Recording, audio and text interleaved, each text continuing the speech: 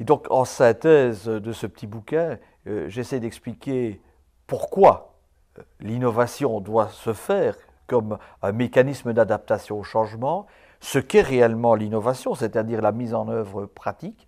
J'explique aussi, en passant par un exemple, l'impact que peut avoir l'innovation. Et puis, à travers l'évolution des différentes pratiques d'innovation, j'explique comment on est arrivé à une innovation en réseau. Et je termine par euh, l'importance, finalement, euh, à accorder à l'innovation responsable qui doit euh, s'insérer dans la responsabilité sociétale des entreprises.